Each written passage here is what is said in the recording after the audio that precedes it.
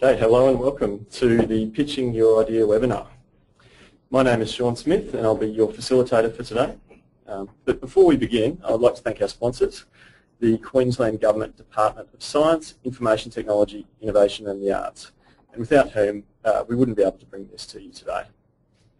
Uh, just a little bit of housekeeping before we begin. If you do have any questions, we're going to be addressing those at the end of the webinar. You can type them into your console as we're going along, however, and, uh, and we'll get those during the webinar. Now, um, now, without further ado, I'd like to introduce our two presenters for today, Gus Taddeo and Brendt Munro. Thanks, Sean. It's Gus Taddeo. I'll start us off on our adventure this afternoon on a, uh, an interesting topic. Brendt and I have uh, colluded, and so there's a little bit of overlap between us to uh, emphasise and uh, exaggerate and point out some issues that we think are important for everyone to understand. But I'll start with perhaps a, a controversial comment here. I've heard this mentioned before. It says if you're pitching, then really you're doing it from a powerless position. The implication there that you need something from somewhere else, someone else, and so that uh, may be a perceived weakness. I want to bring it up because I, I don't believe in this. I believe that uh, pitching, if we want to use the American uh, baseball analogy, for every pitcher there's a catcher, and it is the same in this sales process, that someone pitching is looking for the appropriate person or recipient, I might call them that, where there's a, there's a meeting of needs. Uh, the recipients do need, they want to invest in the right kind of vehicle, the right kind of organisation or individual. And so if the mindset is to have that um, at front of mind, that really it has to be beneficial to both parties, if you enter into that mindset from the onset, then it's, uh, I suppose, raising the likelihood of a successful outcome. So I think having uh, dealt with that elephant, uh, we'll, we'll, move on. Now, I thought I'd begin with what I believe is the most difficult of the three options we're going to look at today, which is the elevator pitch. Uh, for those that have not heard the term before, it, uh, it was coined as a bit of an MBA training exercise where theoretically if you entered an elevator in, in what would be a very tall building in America, because they say you might have up to two minutes uh, what would you say to a potential uh, investor? So how succinct could you be to deliver the whole message? And so it is essential that not a word is wasted in an elevated pitch. I'd suggest to you that the time frame might be only 30 seconds to two minutes. And if you don't know um, or you can't get the message out in that time, um, today is hopefully a forum for understanding what is essential, what is necessary um, for you to be more successful. So if, um, if you want to be concise, there's a few other characteristics that uh, normally increase the likelihood of uh, being favourably received. A big one is the non-tech talk. Um, having come from a medical background myself, I was approached many times by the inventor, quite knowledgeable, clinical people, sometimes scientists, and um, they really often did struggle to get the message out in a way that a broad spectrum of people could understand. So, so you may have to consider that the, the lead presenter in an elevator pitch may not be the inventor. It may sound counterintuitive because the, the inventor or developer uh, often has the most passion, but again, it's about the meeting of the minds, getting the message across to the right people to be understood um, to increase your likelihood of success. So I pose that as a possibility for you to consider. The other aspects, you need to really convey a, um, a confidence um, to make others feel comfortable. I'll, I'll, probably deal with this a bit more in another slide.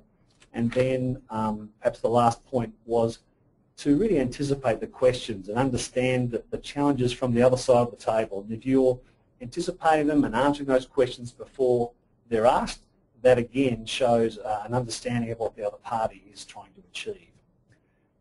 We always like to have a take-home message in such um, webinars and seminars, so if you had to really distill it down to two essential elements I propose the following. The discussion is about what problem are you solving, very specifically, very clearly, and what is that value proposition? So what is the benefit to the listener? We're going to discuss that a couple of times from different angles today, but I pose that as um, really the two things if you focused on that nothing else, if you didn't feel you had the ability or time to do anything else, but then that would be where you are. Well, let's look at um, some concepts of of value. And uh, I steal from uh, Professor Mark Harvey here. Mark is a Deputy Vice Chancellor at University of Southern Queensland in the Research and Innovation area. I did steal with his permission this slide. um, because I like the way that it perhaps, again, showed a pathway a, someone who was in the VC area. Mark was a member of UniQuest, so a commercialisation arm of the university. He worked in venture capital. Now he's at academia. So he's got a great broad understanding of what's important to people. And perhaps surprisingly for many of you on board, he um, makes sure that everyone understands management is the starting point. For VC, and this is a model that was applicable to sort of biopharmaceuticals, so quite a, a complex um, decision pathway, but it always started with management. People are important. You are looking to the management structure to take the idea, the proof of concept, the prototype to the next stage. And so I have found often that people want to jump straight into the product. As you can see in this pathway, they begin with management. They then want to know what the unmet need is in, in that marketplace. Product follows, and then depending on the complexity of the product, um, maybe consideration of the development pathway, are there regulatory hurdles, as that may need the product to be staged to enter that market and hence gain a return. And just to, um, on the other side, emphasise that it's not just in the complex process. Have I steal from Tom McKaskill down the Gold Coast, as an angel investor, um, it has quite angel investors invest first in the entrepreneur, not in the business plan. So again, it's about people, and when I state that and have said that to others, they're perhaps a little surprised. Uh, but that's an area that you can directly control. So what do you need to be looking at and perhaps uh, practicing to get your message across? Pitching um, confidence is the key, how you come across. Now Australians perhaps feel a little um, uneasy using the very, uh, may I call it, Americanized version of confidence, a certain brashness perhaps. I don't mean that in any condescending way, but um, it's likely that you will have a, a, heavy representation of people who may come from North America, been trained in that area from the, from the VC or investment community, so be mindful of that.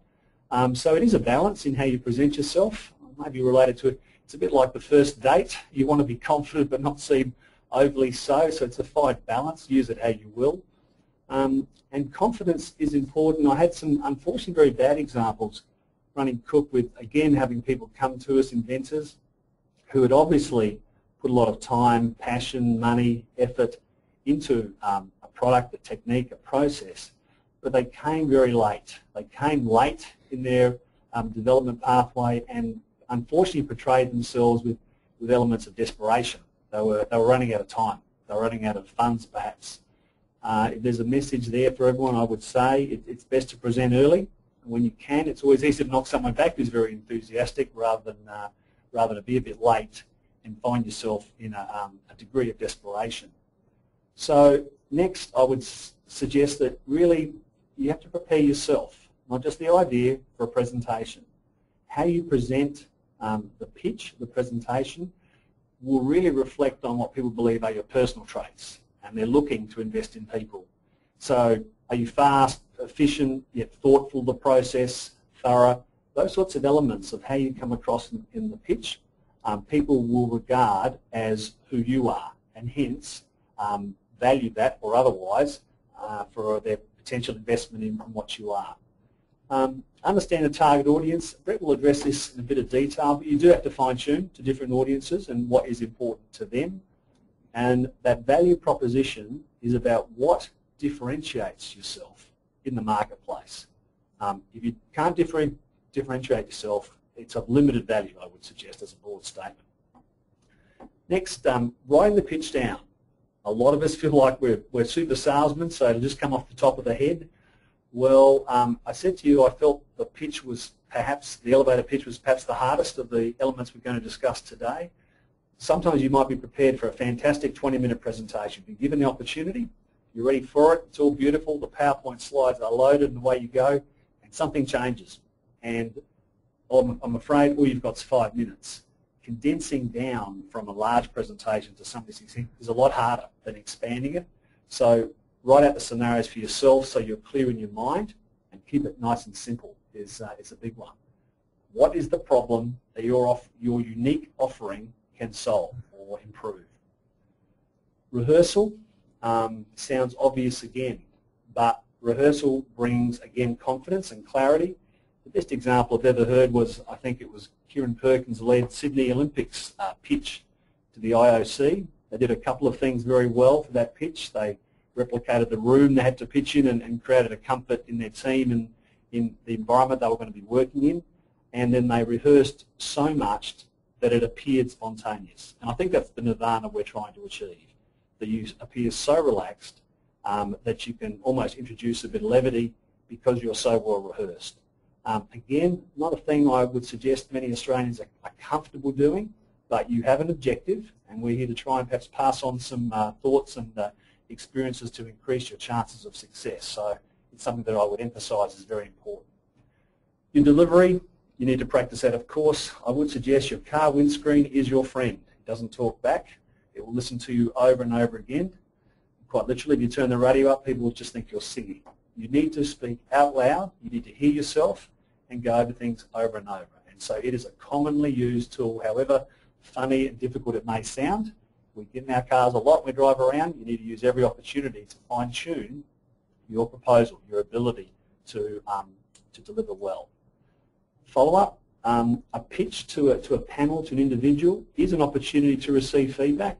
The feedback will be direct. They are very concise in how they evaluate um, opportunities, but any opportunity for feedback um, is essential, and you would follow, a, may I call it a, a routine follow-up process as far as the appropriateness of how long after you pitch um, you might want to hear back from them. So um, seek follow-up actively.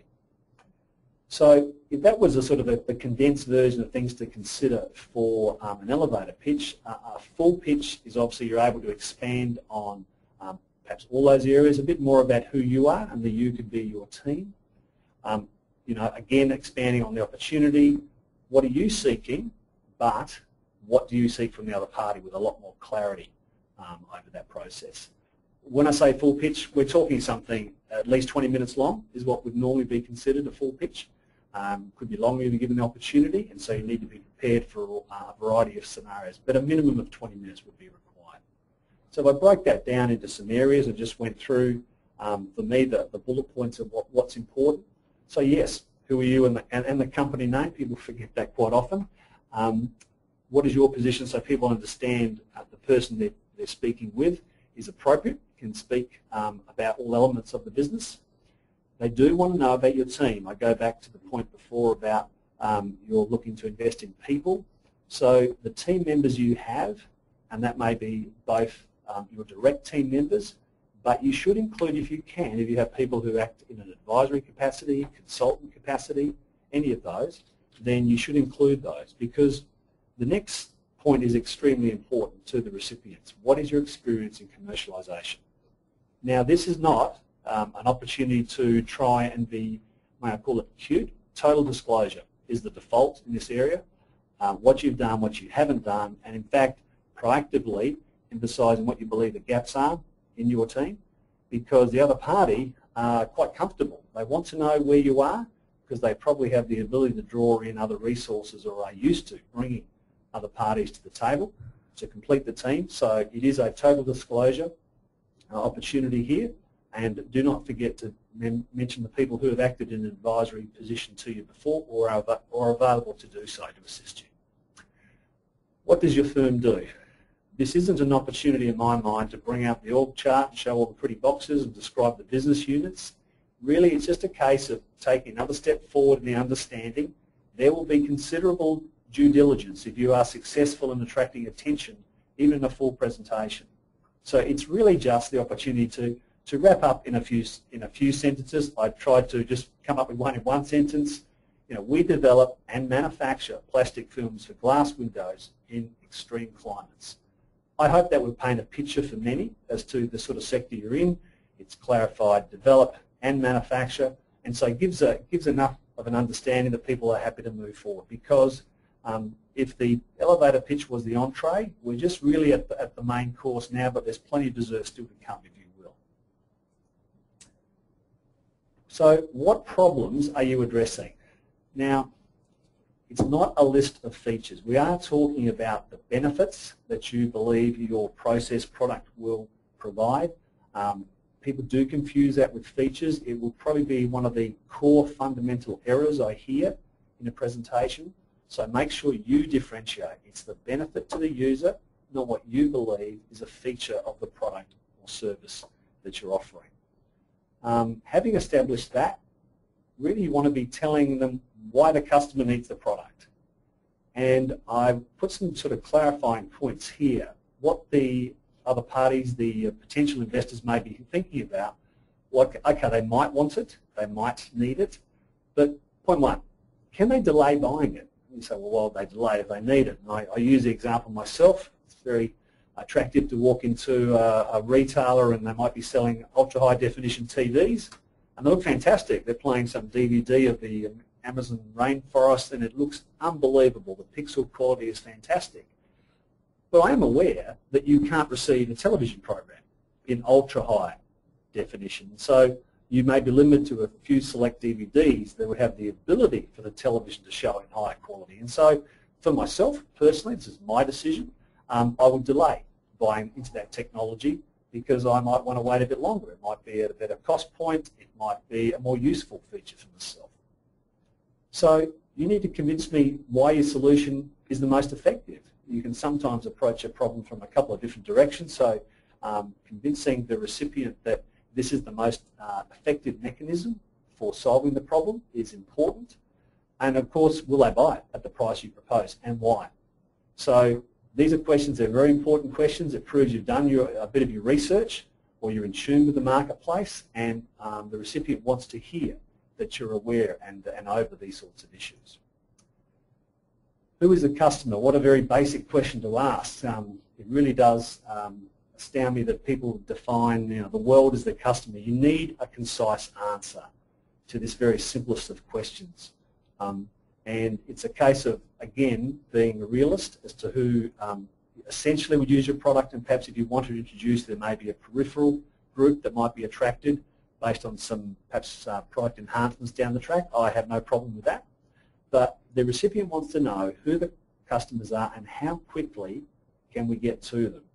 So is it a product that needs um, some sort of uh, regulatory process? Um, so barriers to full, um, full rollout in the marketplace because this is an influence on the return that uh, could be expected from that product being released because it may have to be rolled out in, uh, in segments rather than um, in, um, in one hit. What is a competitive advantage? Um, sure, define the way you solve the problem better than any other option, fine. Um, normally this space, there's a lot of discussion on formal IP. Fantastic if the, if the opportunity is there or you already have in place um, patents, trademarks, etc. to protect um, your product or process, that's fantastic. I mentioned up there that process IP has a value. Um, the process IP I would define as just a level of, of deep expertise, you know, which is difficult to copy. It could be the way you manufacture something, even though there might be a core element of the product that, that is covered by a patent or some other IP, how you go about manufacturing it, how you go about delivering it may have some um, some nuances that are not obvious. That, that does have value and, um, and being able to detail that um, is a is an important thing. I would differentiate that from what I would call non-documented knowledge, something you couldn't write down, which is maybe contained in, in the, the head of the inventor and really, in my mind, that almost has a negative connotation, being kept by an individual not having the ability to um, write it down or have others understand it and utilise it, uh, I would actually state would be more of a negative than a positive in my mind. So process IP should be considered the unique way you go about doing things. Um, how big is the market? You do need evidence to substantiate this claim. I don't know how many people would come to me. They'd say we have the greatest new tongue depressor. As there are 7 billion people in the world, there are 7 million mouths, so the market must be 7 billion. Sorry to use perhaps a farcical example, but um, that sort of extrapolation um, won't, won't do it. The, um, the evidence must be there. You must have done some sort of um, market evaluation. You, do, you may need to do further market testing, this needs to be stated up front, but um, it's all about what could we get to, the time necessary to go to full release, what is the total market um, take-up anticipated, but when is important, because this influences return. But if you're able to also add other elements, which might be um, other replacements necessary, other upgrades, add-ons, or other things that add another layer of revenue based on the initial rollout, this is a very positive upside to the equation. I won't go into this a lot, and Brendt would perhaps speak of this, and it seems strange to talk about exit when you're trying to introduce something, but it is essential. The investors are looking for an exit and a certain return on their time and their involvement using their expertise. So you actually need a plan from day one. It needs to have milestones. There should be some estimates on some returns. I won't go any further than that, but it is an essential element of the, of the process that you're starting, that you actually have a plan that seems reasonable from the other side of the table as to how you will exit. A couple of slides left. Um, how much investment do you need? I find almost all the time people grossly underestimate. I don't know if it's a, a meek and mild attitude or not wanting to be seen to ask too much, but I would say to you, asking for too little equates to not understanding the business you want to be in. And that will be poorly perceived by the, um, the VC people on the side of the table. It's common feedback. I've heard it from a variety of pitch forums that um, that's the number one thing they found. People don't ask for enough. They don't actually understand um, what will be required, and that's a, bad indicator to the people who are very knowledgeable on what it takes to take um, ideas through to commercialisation. So it is about how much you need, when do you need it, but what's it being used for. Um, and the other side of that will be what are you offering the investor for that involvement, uh, usually their funds. So to summarise, like any essay or anything, when you're summarising um, the presentation, it's what do you want to leave in their head and, and act as a prelude to them asking questions. So pretty standard, what the problem you're solving, what is your solution, the value you propose, with whom, but how much are you seeking from the other side of the table, and what are you offering them in return for that. I thought I'd just touch on the last, it's only a single slide. I've got uh, the soundbite. It's something uh, people may have heard of.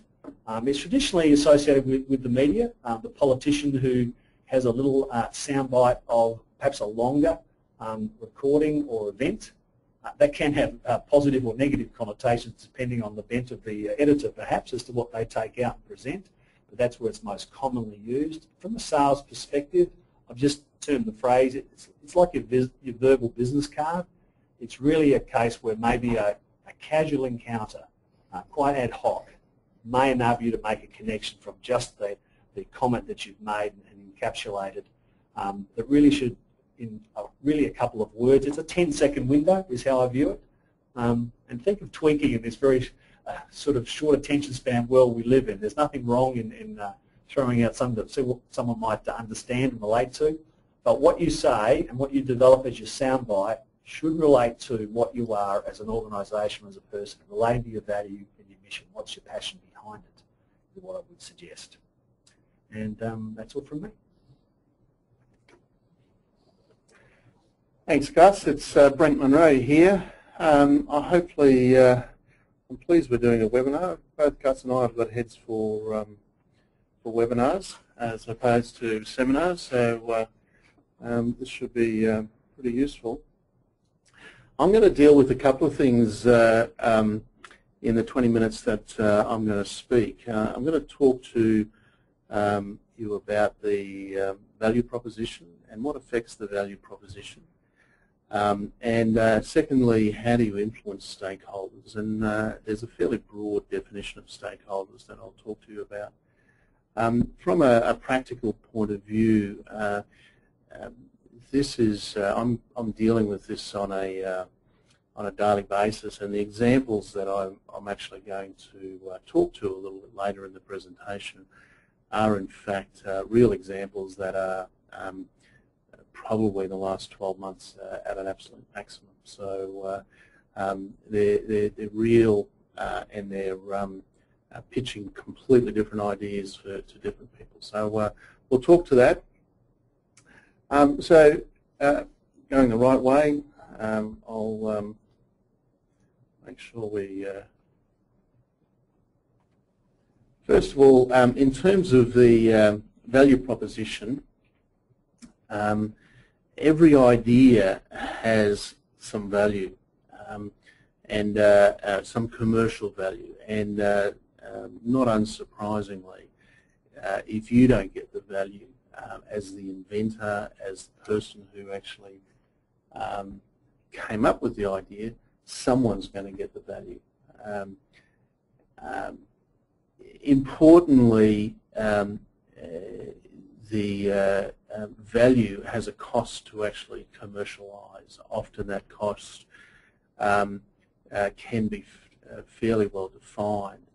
Um, and, and, ensure, and ensuring you understand the cost of commercialization, production, manufacture, manufact, uh, marketing, penetration in the market is an important part of the pitching um, process of, uh, of your idea.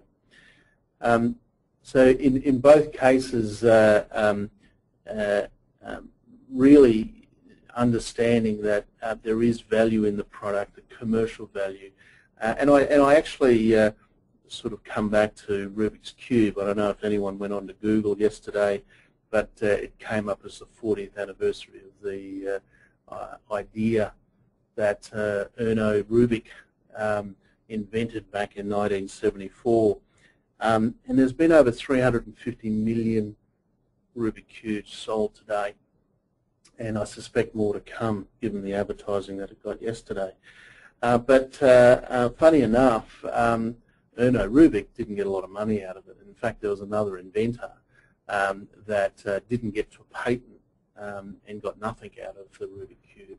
Erno got about $3 million out of it, um, and in the 70s or early 80s, that was pretty good dollars. But um, given that there's 350 million of them sold, um, who actually got the money out of it? Um, I would suggest that it wasn't Mr. Rubik. Um, so it's a, it's an interesting process of who gets the who gets the dollars. Um, uh, in terms of um, what actually affects market, uh, you know, you, have to really ask the question um, um, about what market is actually going to be impacted the most. In, in a lot of in a lot of uh, cases, uh, the impact of the market is uh, uh either positive or negative is going to be your biggest determining value. Um, often, uh, um, people uh, in the in the market right at the moment have potentially the most to lose out of the market. So, understanding um, the the loss or, or, quantifying the loss that may exist in the market for introduction of the, uh, of the product may uh, include or, or, or certainly um, be a, a, pointed towards the value of the product. Um, eh, also, how will those people respond if you actually bring to market an alternative product that's uh, far superior to what's already in the market? Um, we have to understand how people or competitors may respond. And um, you might remember back in the days when um, tapes, videotapes were um, being introduced into uh, the world. Um, probably the best um, technical tape was uh, what they call the beta um, tape, and uh, and the VHS tape was the alternative strategy. And uh, the the um, beta tape never got into the market very, uh, it didn't penetrate into the market other than in a professional sense. Um, mainly because um, the marketing and the uh, market penetration that, uh, and the money spent behind um, uh, the VHS uh, introduction. So uh, that's a reasonable sort of example. Um, the, the, the real assessment process of value comes down to understanding what can be brought to market at the right price that people will actually pay. Um, you know, uh, and, and, again, uh, probably a great example, a lot of green products these days um, go to market because they're environmentally friendly, um, but often they're not cheap enough to uh, to uh, um, uh, impact the market greatly. And until they actually come uh, into a price point where people are comparing against alternative um, products in the market, those green products don't actually exist. And, and I see in this in this halcyon, halcyon world right at the moment, um, a number of solar companies are going broke. Um, because uh, of exactly that point. You know, they're, they're now um, price pointing it at, at, a much different price than they did a couple of years ago. And because of that, um, um, their infrastructure is not now sustainable.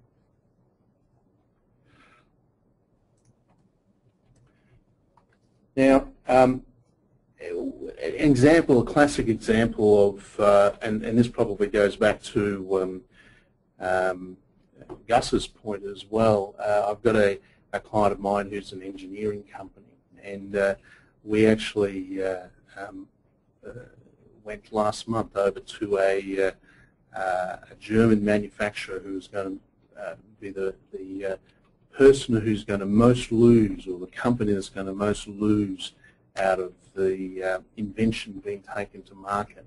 And we thought to ourselves that they would be the perfect person to take this and run with it. Um, they turn over around $200 million worth of this product at a wholesale value uh, on, a, on a yearly basis and the impact um, of this invention um, suggested that they, um, uh, they were going to be impacted the most because they're the biggest in the market. Um, the uh, the uh, uh, when we got to Germany, um, they wouldn't sign a confidentiality agreement, so we actually had a meeting that really skirted around the issue, and they didn't invest and didn't do anything because um, they couldn't see the value. And um, so, you know, we had a bit of a barrier about understanding, you know, whether or not uh, putting confidential information on the table um, impacted um, the ability to leverage the value out of the business. Uh, um, as a uh, alternative over the last month and a half, that's proven incorrect, and we've been able to sell the product elsewhere. But uh, uh, it was an interesting little exercise where we spent probably forty thousand dollars to get there, and um, um, and we had a, an hour meeting basically not talking about anything uh, in particular and uh, checking out what the weather was. Um, the same, same engineering company has now met the market in China where they require the same product for 50% less cost. Um, he's redesigned the, uh, the uh, product and is able to actually produce that. And my question is, have we lost value? Have we leveraged value? Have we gained value? Um, and, I, and I think in, in, in a lot of ways you, have got to be fairly dexterous to, to work with that and, and um, make sure you don't lose value and and be prepared to uh, change your strategy midstream in a lot of cases. Um, one of the one of the biggest issues that uh, um, uh, will actually impact on the on the question of value, on the leverage of value, will be uh, whether or not there's uh, um, uh, there's barriers to entry that are actually impacting your ability to get to the to market. Um, what's the cost of, of penetrating the market?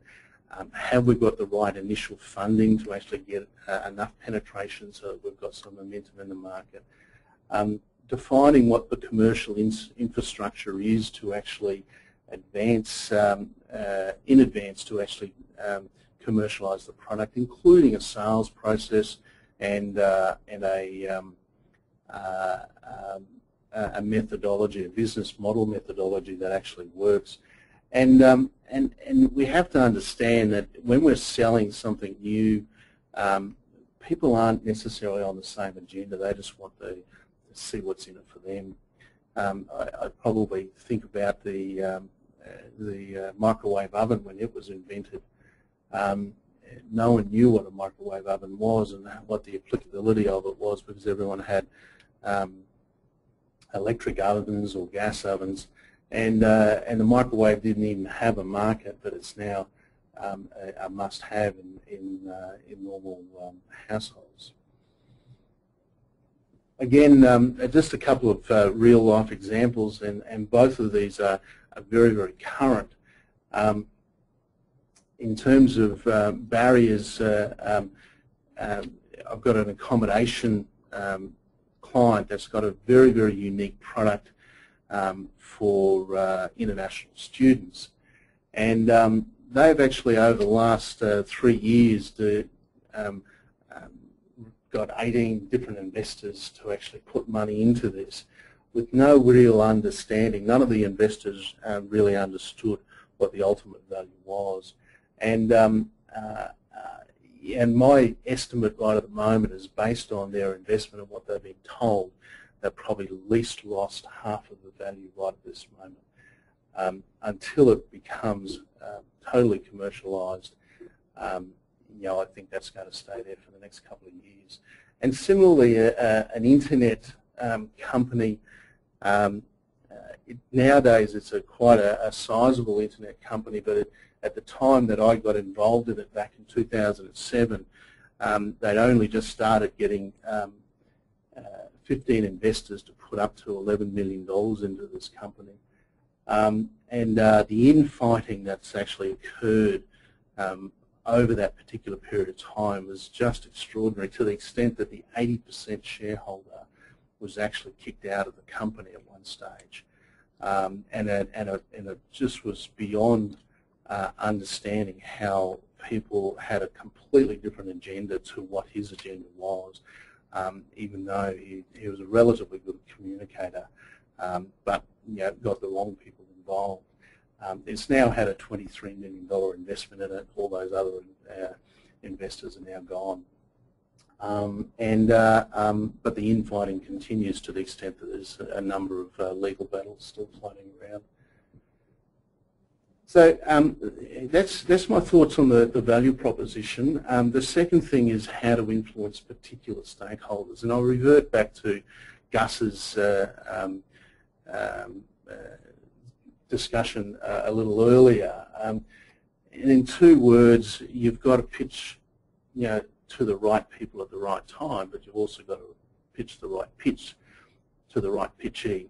You know, it's no good pitching um, uh, at a, you know, a million dollar investment to someone who um, is really only going to put 10 grand into the, uh, into the pot.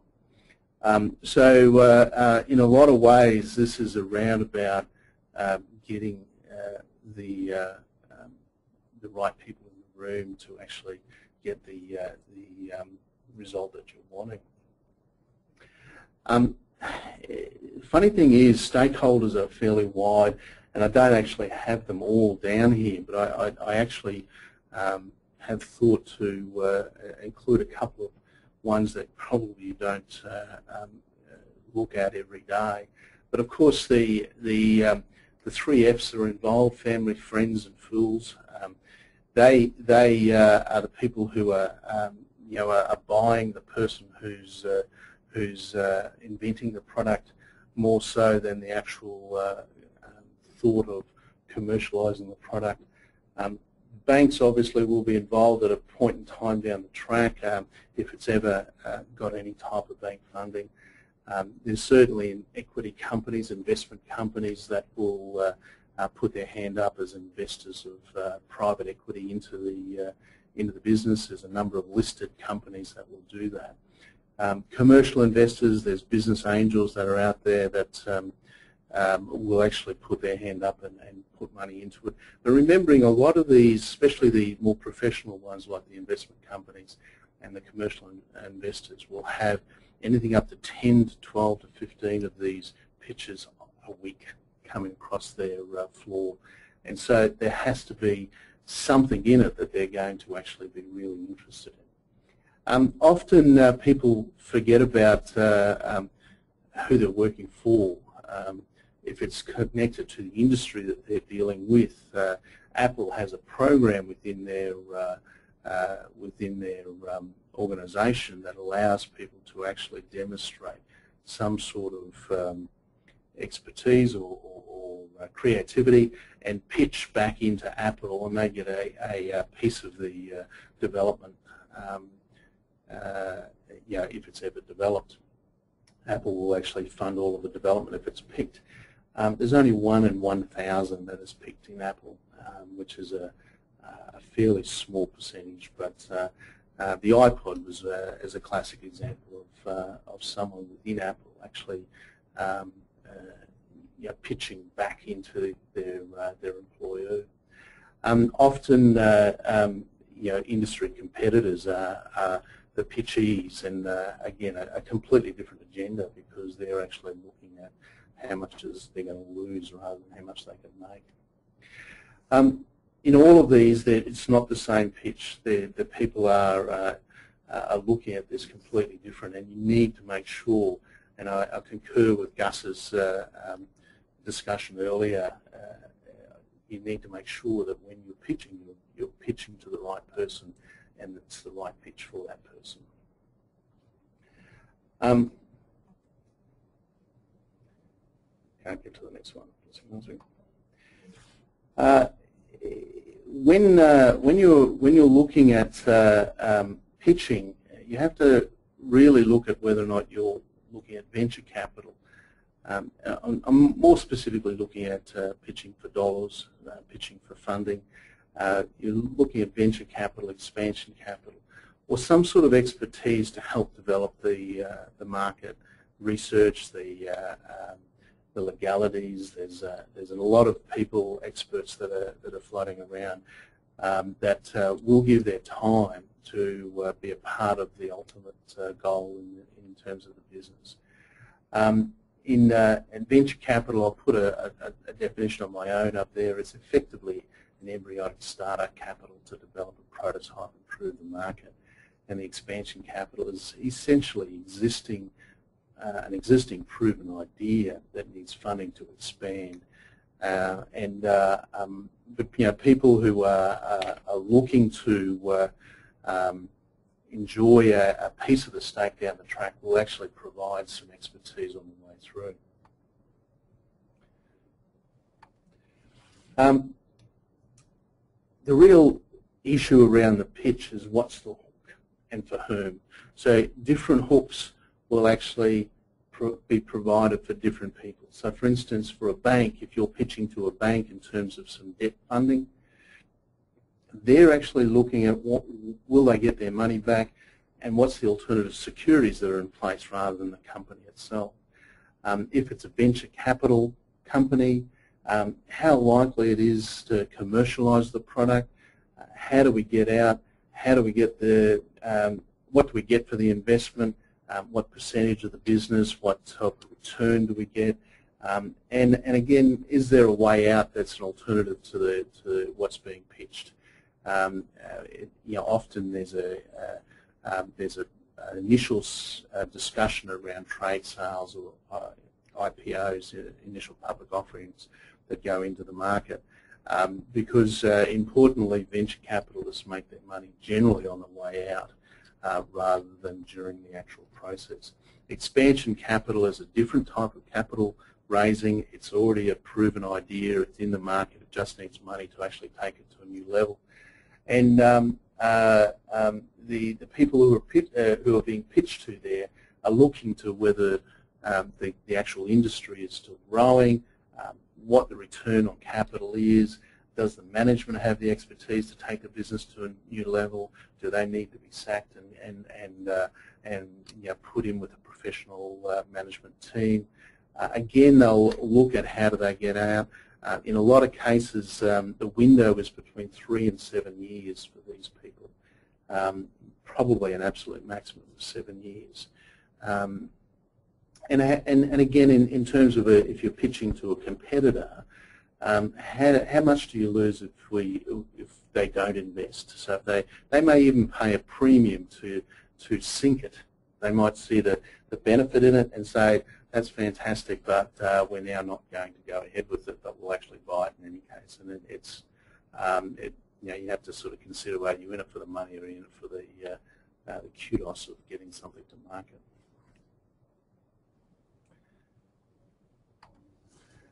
Um, I speak around an information memorandum. You may have heard of information memorandum. Um, it's less than a prospectus. A prospectus has a lot more um, uh, um, legal ramifications around the uh, prospectus in terms of its delivery. Um, but in terms of a, a memorandum that uh, is really just providing information to a potential stakeholder, um, it needs to have the right messages in it. Get the hook in early is, is really, really important. Don't get too caught up in the technical jargon and the gobbledygook. Um, in, in a lot of cases, uh, and, and I'll go through an example in a moment, um, you know, some of the uh, uh, gobbledygook just uh, fills up a lot of pages and, and um, you know, bores people to tears. Um, you know, Gus spoke about not telling people about the features but the benefit of the features. And I'm even going one step further and saying don't don't uh, tell them what the benefit is necessarily, or to do tell them what the benefit is, but ensure you also tell them what the benefit in the benefit is. Um, so the you know the benefit might be the features might be that it's got four wheels and uh, and drives along the road. The uh, benefit is it'll get you from uh, um, yeah, A to B, and the the benefit and the benefit is the the comfort level and the and the kudos and the status that you might get. So it's a it's a it's a, another level of uh, of providing um, information in the uh, in the memorandum. Um, and, and obviously the memorandum has also um, already done analysis of market penetration and the cost of getting things to market and, the, and developing into prototypes and those sorts of things. So importantly, uh, um, those uh, need to be supported by proper cash flows and investment analysis. Um, some of the basics uh, that I that I see um, aren't necessarily observed in the information memorandums uh, um, all the time is that um, they tend to, they can become too complex. Um, it needs to be simple. It, it, remembering that some of these people have up to 15 of these a week come across their desk, three a day. So the less complex it is, the more time they've got to, to, to actually consider the project. Um, you need to be authentic and, and pragmatic about it. Don't overvalue the, uh, um, the business. Don't, uh, you know, obviously don't undervalue it, but, uh, you know, don't make wildly um, unsupported assumptions in relation to it. And I think um, Gus actually touched on that point as well. Always be prepared for cost blowouts. I'll give you an example about that in a moment. Um, back it up down the track with a strategic plan, but never do that too early. Um, you know, I, you know, it's really frustrating to to actually see a strategic plan um, that's uh, um, that's part of an information memorandum when it's um, uh, um, it's way too early to to even consider that you know we've got to actually prove the concept rather than uh, um, develop a uh, um, a, uh, a vision and a, and a, core ideology that's just unsupportable. But to also take the guesswork out of what might be needed up front. You know, some of the questions um, that people have got in their mind that needs to be dealt with straight away. Things like governance and, and milestones and, and competitors' reactions and analysis around it and return on equity and those sorts of things need to be dealt with straight away. Um, eh, I've got a, a, classic example of an ISP company right at the moment, and it's it's got a brilliant hook, um, and I won't uh, I won't go into it, but you know, the return is expected to be over $20 million over three years, and it's only got a million dollar investment. But the actual information memorandum is so complex that, that I couldn't read that in the first draft of the mem memorandum. I had to get it redrafted at least three or four times to take that confusion out of it. And it, and it, and it gets lost in the mire. The, the hook gets lost in the mire. Um, another simple uh, example is this accommodation company I dealt with uh, a couple of minutes ago, um, expanding into the US. It's very successful in Australia.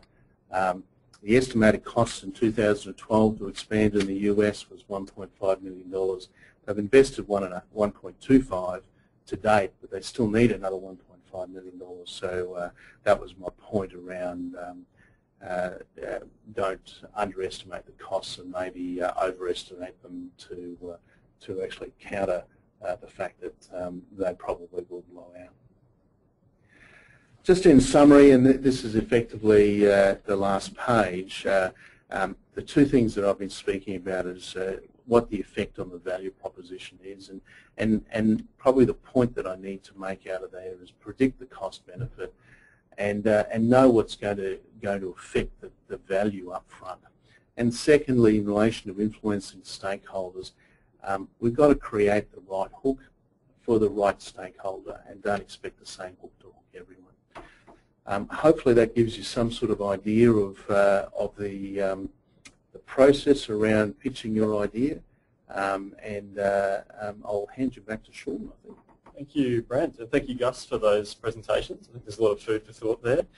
Um, and we're going to take questions in a moment, of course, so you can go ahead now and type those questions into your consoles and we'll, uh, we'll address them as they pop up. Um, just quickly before we do though, um, I'll just let everybody know that we're going to distribute slides from the webinar this afternoon. You'll get that in your inbox. Um, and please fill out our, our, feedback form. Let us know what you thought of it. And, and here's your chance to, to suggest some topics for um, future webinars. So tell us what you'd like to hear. Now, I'm, I'm going to kick questions off with a question directed towards yourself, Gus. Um, this comes from Emma, and Emma is asking, how do you protect your IP from the party that you're pitching to? Um, i.e., how do you stop them from taking your pitch and running with it themselves? It's an important aspect, and, um, and rightly so, it does need to be addressed. Quite often depends on the forum that you're pitching in. Um, for example, there might be angel investors have, have organised a weekend, a little pitch fest where companies are invited to come along. They may have a pro forma non-disclosure agreement or a two-way confidentiality agreement. Uh, it is essential that protection for both parties exists because remember they're also providing feedback and giving you information and assistance. So it is relevant that it's a document that covers both people's interests. Um, if you don't have access to such a document, I mean AIC here within QMI could easily provide uh, a base document, but uh, the point is uh, it should be requested, it should be adhered to, that some sort of disclosure agreement is necessary. Of course, it is relevant to the stage of what you're presenting and, the, and the, the, quantum and the detail of what you're presenting. And you may actually need to start off with quite a loose document and then um, involve a document further down the track when you're well advanced down the track that starts to address um, sort of the basis for some sort of commercial return.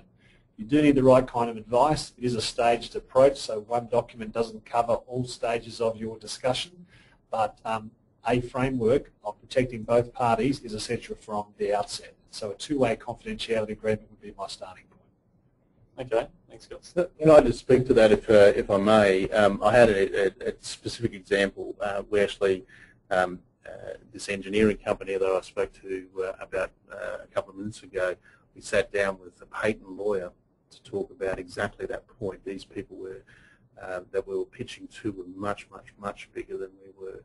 Um, and his advice was even, though that might cost you $20,000 to get a worldwide patent and it might take two years to get 18 months, uh, between 12 months and, uh, and two years. Um, uh, effectively, if they went uh, if, and uh, stole the product, uh, the only way we could actually deal with it was to um, to put a lot of legal fees up front and and and try and um, defend our, uh, our position on the patent. So um, in a lot of ways it's really very much a cost benefit. Having a proper uh, NDA, uh, non-disclosure agreement is, uh, is uh, an important start to that. Uh, having patents is an important start, but um, you have to also pick your mark as to you know, who's the right person to talk to. Okay, thanks, Brendt. we've got a uh, another question here from uh, Lucas, who's asked uh, what fees are involved in using a service to help you to pitch. Any any thoughts or comments on that um, that question at all? So I'm assuming um, Lucas refers to some sort of external uh, advisor consultant. Um, there's a whole range of, of um, prices available. They're not specialists necessarily lining up in this area because it needs to be someone who's familiar with uh, your field of expertise, etc. So I actually can't off the top of my head think of an individual that uh, or an organisation that specialises that, that that may be at the level that probably suits uh, most of the people who've been on this webinar.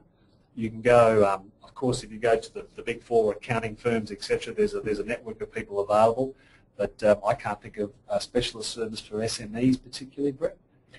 Uh, no, there's not. It, it, generally, your your advisor, um, um accountant, and or corporate lawyer um, will assist, um, but not necessarily in relation to the pitch. They'll do they'll do certain aspects around the uh, IM.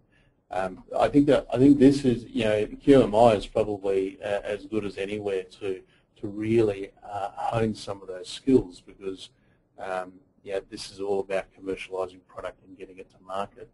Um, and uh, um, there are other people. I was a partner of PricewaterhouseCoopers for a number of years, and uh, you know the, the, the SME market, you know the, the actual information memorandum prospectuses, those sorts of things for uh, um, for SMEs. Uh, um, there weren't any cut-down versions. It was costing similar monies to, to anyone else who who went into the market. So um, your best best um, call is to talk to someone like QMI and or your professional advisors. Okay. Um, I've got a, a, question here from Michael. Now this might be in your area of expertise, Brendt, uh, but, but I'll, I'll, put it out there to both of you. If the um, pitcher has an account of the direct costs to set up and operate for the first year, how much do you think he should ask for in the pitch?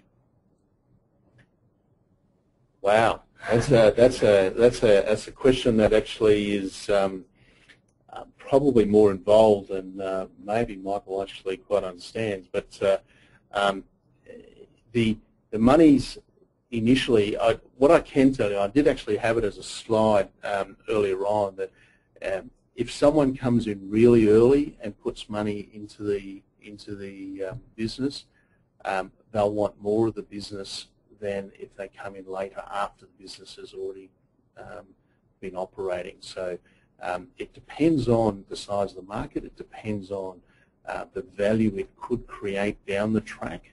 Um, and uh, you know, in, in, the in the three or four cases that uh, I, uh, I, as examples, I pitch, uh, I um, uh, was talking to before, the amount of money that was being required um, went from a million dollars to a hundred million dollars. So you know, it really does depend on the business um, and how big the market is and how much penetration there could be into the market as to how much you actually ask for in your pitch. Um, it's based on a valuation process. Um, you, you, know, we worked that out at the beginning. We actually uh, create a, a, particular value um, uh, and sort of work it backwards to say, okay, this is how much we're going to need to actually put this particular uh, idea to market and, and, get it to a commercialized product.